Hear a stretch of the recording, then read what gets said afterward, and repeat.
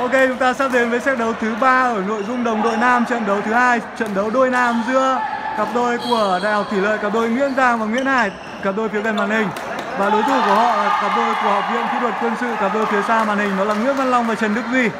Vâng, trong set đấu thứ nhất thì cặp đôi của Học viện Kỹ thuật Quân sự đã xuất sắc lội ngược dòng. Và trong set đấu thứ hai thì cặp đôi của Đại học Thủy Lợi lại xuất sắc lội ngược dòng khi bị dẫn 5-0 nhưng họ bật lại 15-10. Và đây là set đấu thứ ba Nguyễn Hải của Đại Thủy Lợi giao cầu.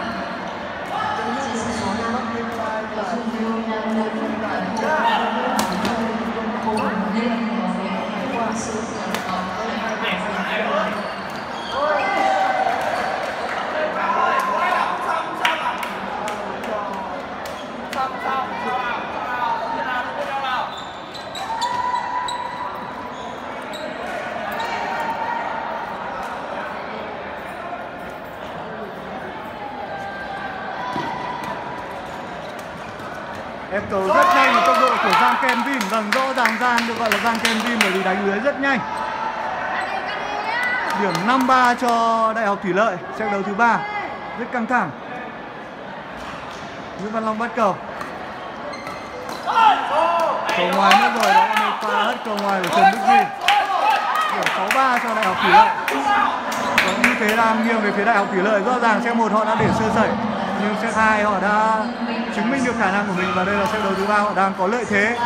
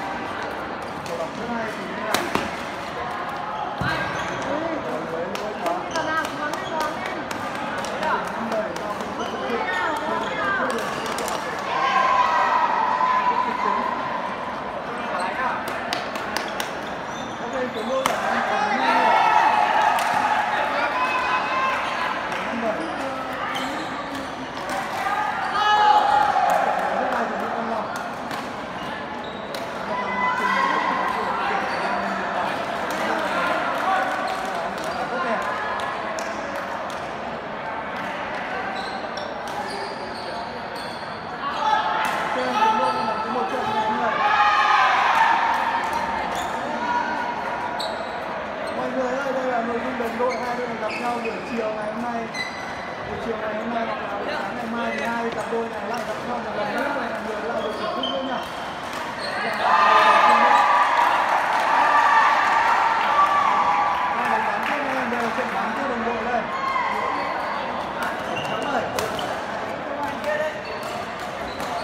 Tấn công.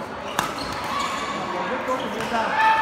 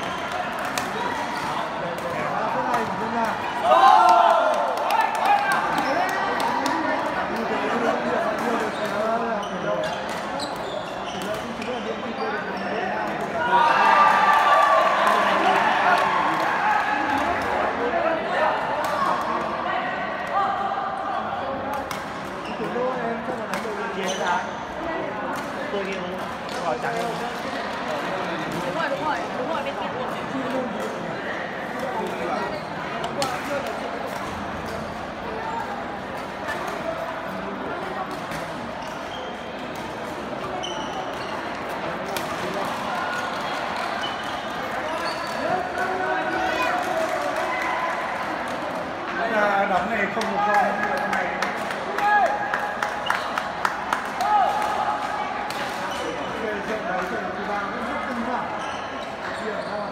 cho đạo thủ đô đang lên động cái vòng cuối sân rồi. Trên 15 người 15 15 điểm. Đúng là các cờ.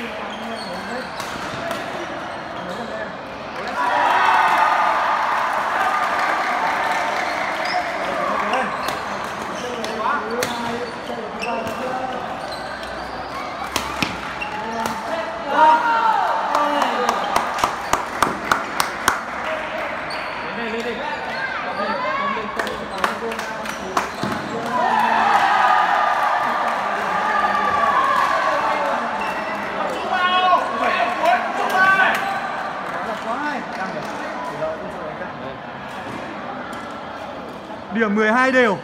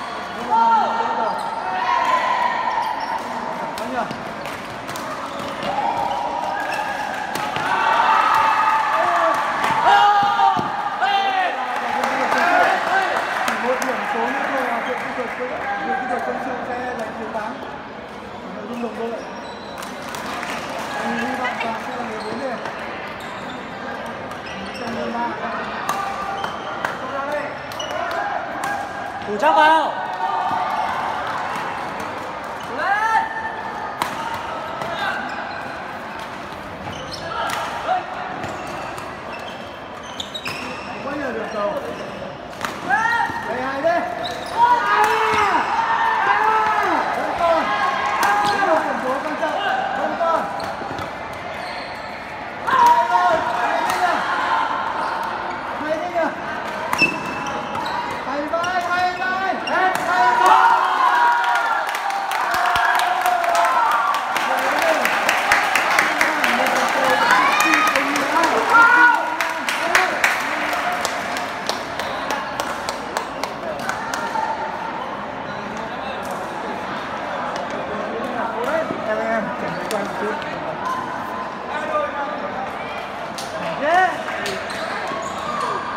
Trường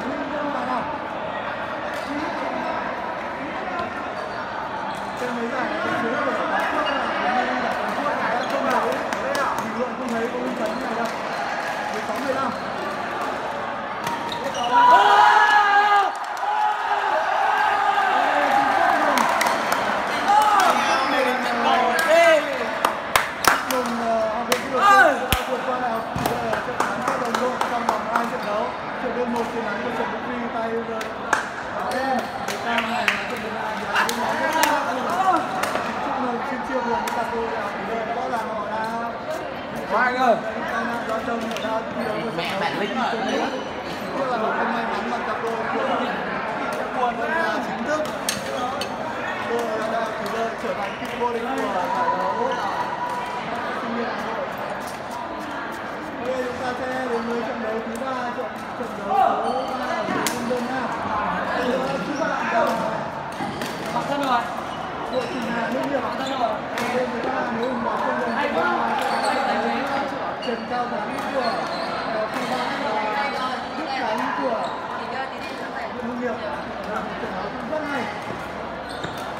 más la caída.